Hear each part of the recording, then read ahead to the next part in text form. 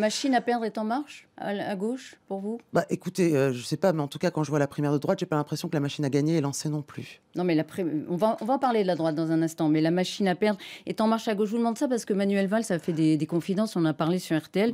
Bon, pour lui, c'est perdu d'avance. Que François Hollande ou pas soit candidat, c'est perdu Non. d'avance.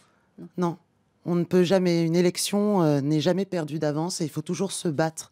Moi, je me refuse d'avoir un choix entre une vision euh, d'un projet euh, d'une France euh, rabougrie euh, portée par la droite ou euh, une France qui, euh, qui euh, d'extrême droite. Voilà, non, Mm. je me battrai jusqu'au bout pour nos valeurs.